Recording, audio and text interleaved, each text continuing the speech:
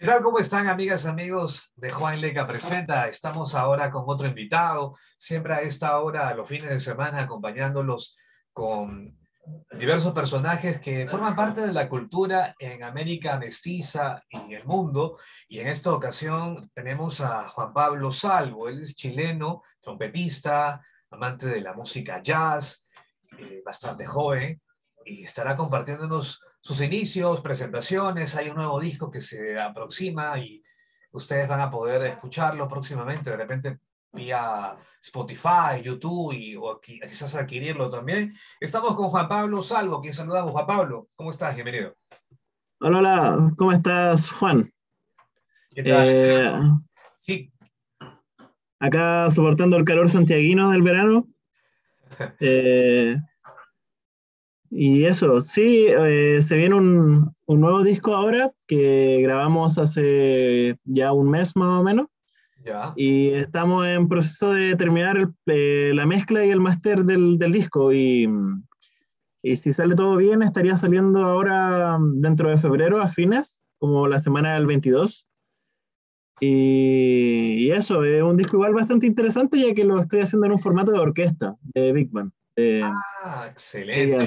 Y muchos dirán, eh, Juan Pablo parece de 20, 22, tienes casi 23 años. ¿Y cómo es que un jovencito de 23 años esté hablándonos pues de Big Band, de música jazz, de repente no otros géneros que, que serían de, de, de moda, de, como para tu edad, ¿no? ¿Y cómo así nace entonces el tema de tu compañera, la trompeta, y el, la, el gusto por la música y la música ya Cuéntanos, porque tengo entendido de que desde muy pequeño estás ligado a la música, de 13 años, imagínate. Cuéntanos. Sí, igual mi primer nexo con, con, la música, si bien no fue tocando, fue escuchando en realidad, Ajá. que mi hermana mm, era participaba en una banda tocando platillos y bailando. Entonces, cuando chico como que iba a ver esos carnavales y mm, en uno de esos carnavales que pasaron, como que iba por ahí un amigo de mi hermana que tocaba trompeta, que se llama Daniel Trincado, que es un trompetista acá chileno. Eh, me vio el chico caminando con los amigos de mi hermana, con mis padres, y se me acerca o se nos acerca a nosotros y le empieza a pasar la trompeta uno por uno diciendo ya háganla sonar, como el chiste, que la trompeta es un instrumento que lo agarráis, lo tomáis lo intentáis hacer sonar y no te suena, pues entonces estaba eh, probando eso y en una de esas me pasa la trompeta a mí y la agarro y la hago sonar, ¿cachai? Y eso fue cuando yo tenía 6, eh, 7 años, era súper chico. Entonces en ese momento fue como mi primera interacción con la música y con la trompeta en general. Cosa que al final no repercutió en el momento mismo, pero al pasar el tiempo sí repercutió ya que eh, yo era alguien súper tímido en el colegio, como que no tenía muchos amigos, no me comunicaba tanto, no era muy bueno hablando ni, ni, ni, nada de esas cosas. Pasaba más o menos solo en general. Mi mamá viendo ese gesto como eso y preocupándose por aquello, vio que abrieron una escuela de música municipal al lado de mi casa, que se llama Escuela de Música Municipal Enrique Soro. Y es una escuela gratis donde te prestaban profesor, te prestaban instrumentos y te hacían ah. clases de teoría musical. Entonces, eh, yo viviendo acá, mi mamá dijo, ¿por qué no te metemos a la escuela? Y yo dije, ya, ya, fui, di un examen como auditivo para poder entrar.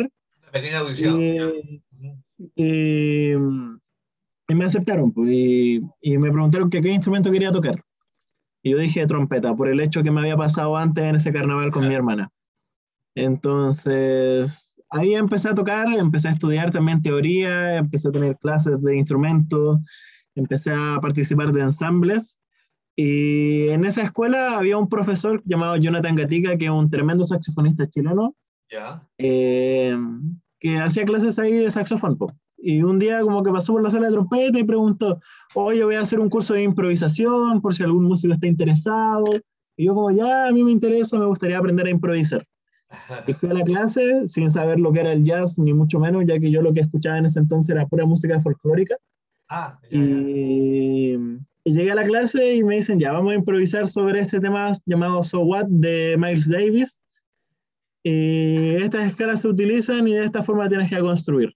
Y cuando empecé, uno que loco por el hecho de tener que estar imaginando cosas y tocarle en el instrumento en el mismo instante. Y segundo, no entendía bien lo que pasaba dentro de la música porque no era capaz de entender lo que pasaba musicalmente. se me mandó de tarea escuchar muchos discos de jazz. Ya. ¿Como, cuáles? ¿De quiénes más o menos estabas ahí escuchando? Eh, me mencionaba escuchar a Coltrane, a Miles Davis, a Chet Baker, a Winton Marsalis, como más que nada eh, grandes exponentes de esa época. Y llegué a mi casa, dije, ya, súper motivado así, puse un disco de Winton Marsalis, me puse a escucharlo y pasó que no me gustó en realidad, como que escuchaba la música y como que no la lograba entender y como que fue muy chocante para mí como pasar de escuchar música folclórica chilena a escuchar, no sé, jazz y como estos eh, músicos como increíblemente virtuosos, como que no lograba entender bien lo que estaban haciendo. Pero a medida que pasó el tiempo y como que siguieron las clases y me empecé a involucrar más con la armonía, empecé lentamente a escuchar más el jazz y a entenderlo también desde, desde mi perspectiva. Claro. ¿Y a partir de cuándo, Juan Pablo, ya empieza tú ya las presentaciones, los festivales, tu interés por, por seguir contribuyendo o seguir pues con este instrumento tocar? Porque eh, básicamente, ¿eres como solista o también está el tema de la composición? Eh, soy compositor y soy solista y aparte mm, trabajo como, como intérprete de repente. Ah, excelente pero en general como mi, mi fuerte son como ser solista en realidad, como que en realidad lo que, lo que hago y componer. Como ah, ambas, esos son mis fuertes en realidad. Cuéntanos un poquito sobre los festivales de jazz que te presentaste en Chile y luego también en otras naciones del mundo. ¿Cómo así se, se maneja la apertura a que participes en estos mismos? Cuéntanos algunos en particular ahí en Chile, quizás en Santiago. Eh, en Santiago he participado en festivales como más chicos, como de comunas eh, aledañas a Santiago, que ah. sería como el Festival de Jazz en La Pobla que se hace en Quilicura, el Festival de Jazz de Renca, también hay festivales que se llama Festival de Jazz Connection, que hacen en, un local que se llama Telonius. Y también en Chile, como en el Festival de Jazz de Concón, en el Festival de Guitarras de América, donde fui como invitado en realidad, como a participar dentro de alguna banda. pero... Y fuera de Chile participé en un festival en Santa Tecla, en El Salvador, tocando en un festival de allá de allá. Y ahora en Chile voy a participar como en el festival más importante que hay, que se llama, ah, participé el año, el, hace, hace un mes, eh, que se llama mm, Festival de Jazz de Providencia, que es como el festival más importante de jazz chileno. Y, ah, qué bueno. Y, y bueno, este año me tocó participar ahí.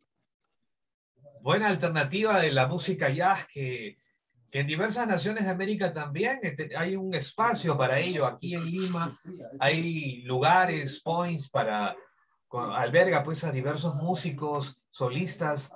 Acá en distritos limeños hay varios espacios para la música jazz también, músicos que también llegan de otras naciones y el gran aporte que hacen pues ustedes al seguir componiendo, al que haya nueva música para poder escuchar y deleitarnos no sé si tienes tu trompeta, si puedes tocarnos algo por ahí, algo que improvises, eh, quieras compartir. No, la tengo acá cerca, tendría que ir a buscarla. Ah, ¿está muy lejos? Eh, no, no tan lejos, podría ir a buscarla perfectamente. ¿Ya? Pero me tendrían que esperar un par de minutos. Un par de minutos, uy, ya. A ver, vamos, vamos. lo intentaré. Ya, listo. Bien, estamos con Juan Pablo Salvo. Él es de Chile, trompetista bastante joven, 23 años, y a pesar de su temprana edad, ha entrado en el mundo de la música jazz, semillero de músicos, el Koshali Big Band. Eh, como músico ha representado en diversos festivales, como bien manifiesta él allá en Chile, además de El Salvador. Desde los 18 años produjo su primer disco, Mensaje, haciendo una serie de composiciones de jazz moderno para formato quinteto, basado en los elementos que constituyen la naturaleza.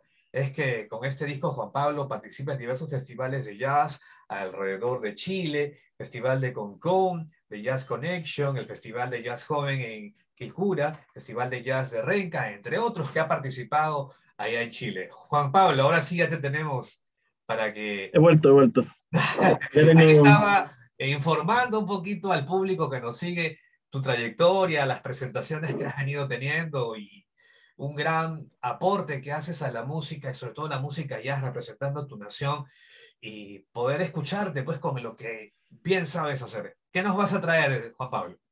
Em, estaba pensando qué tocar. Em, eh, creo que em, en realidad no sé. Creo que voy a tocar un, una improvisación libre, yo creo, como perfecto. creo que eso se me puede hacer ahora. Bienvenido. voy a... Espero que, que no se escuche tan saturado.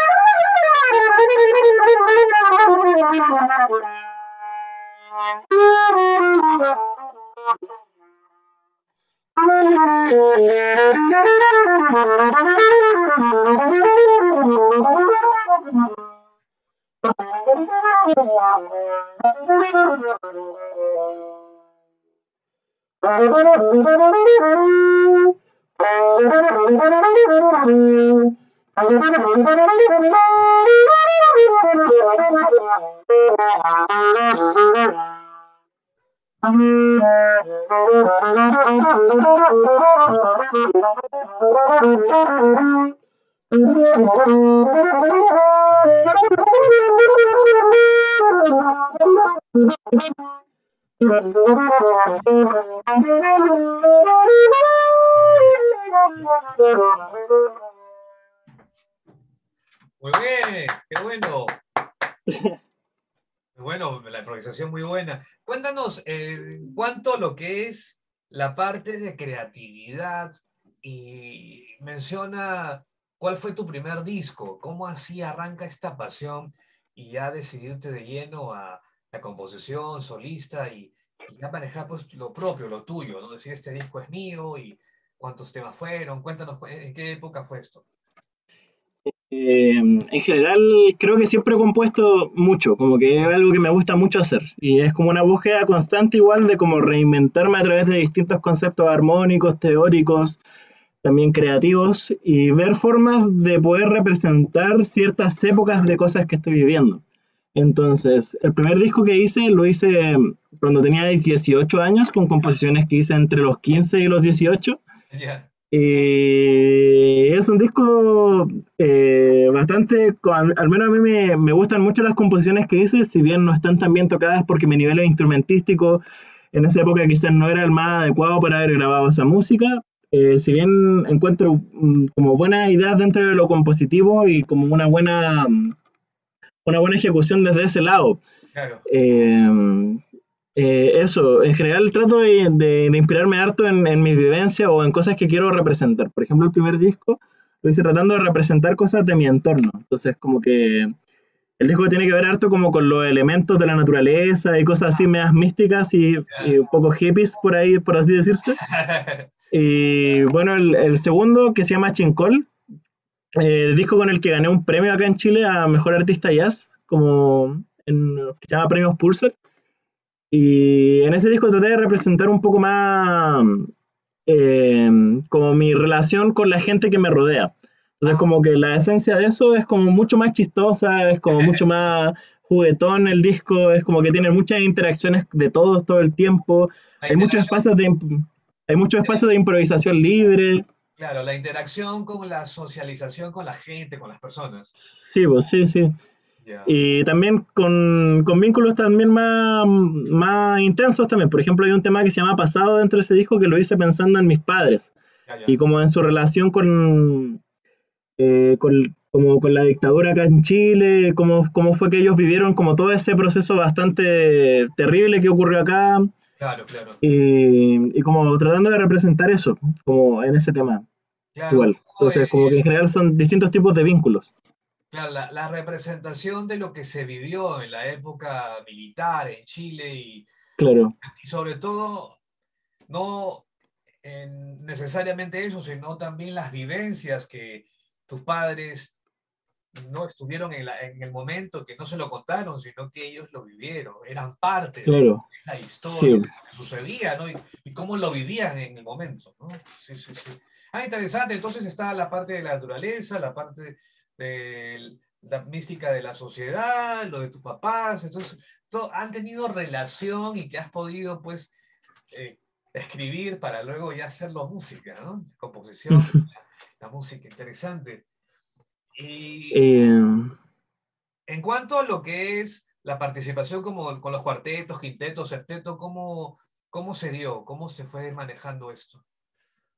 Eh, creo que en mi cabeza siempre han sonado grupos grandes en general. Por eso en este grupo, en este último disco que, que voy a lanzar prontamente, eh, ya es como ya absurdo porque estoy trabajando con una orquesta de 16 músicos ah, con 13 vientos, entonces... Se incrementó eh, todo. se incrementó todo. Sexteto ya son 16. Eh, y en general creo que en mi cabeza suenan como grandes grupos. Entonces como que tocar a cuarteto es algo que me, me, agrada porque me da harto espacio para poder ser para poder improvisar y poder hacer como otro tipo de estructuras, pero también en los grupos grandes te da otras posibilidades como de sonoridades. Entonces como que en este disco último, en, en el intenté jugar con eso, con los distintos formatos que podía administrar de un grupo de siete personas y fui jugando con eso. Habían partes en que habían cuatro, habían partes que habían tres nomás, otros que habían cinco, después siete. Y en general voy jugando como con esas sonoridades para formar así como distintas como dimensiones del, del, sonido en la grabación. Y acá en este disco, ¿cuántos temas forman parte del mismo? En, este eh, en el Chincol hay, son siete composiciones, siete. Más, más dos temas que, en que tienen versiones alternativas, que son el mismo tema pero en distintos formatos. Eh, total nueve. Nueve son los temas que forman parte de este nuevo disco. ¿Cómo, cómo titula este nuevo disco que ya se viene próximamente, Juan Pablo? Oh, todavía no le encuentro nombre a este, a este nuevo disco. Eh, debería pensarlo un poco más. Ahí eh, está eh, el aporte de José Moraga, que también ha pasado por aquí una entrevista que hemos tenido con este brillante músico, que también aporta ahí, ¿no es así? Sí, sí, él está tocando el primer trombón de esta orquesta. Sí, lo escuchamos también magníficamente. Cada uno pues tiene lo suyo, pues tú la trompeta, el trombón, entonces cada músico, cada uno le pone pues el punch para que todo quede impecable, ¿no? Un trabajo bien presentado y, que al oyente nos llegue pues el, mensaje ahí, ¿no? Y eh, a, este género, a este ritmo, ¿no? del jazz. ¿Qué, ¿Qué, se viene próximamente, eh, Juan Pablo? aparte de este disco, de repente presentaciones presenciales, semipresenciales, online, ¿qué es lo que, lo que tienen programado para este año 2022 ustedes? Uh, no, no, tengo tanta claridad todavía de todo lo que tenga programado durante este año. Eh, tengo programado hacer un par de conciertos del nuevo disco. Ya. Y mm, más allá de eso, ¿cómo? Para justamente mover el disco, así es. efectivamente, sí.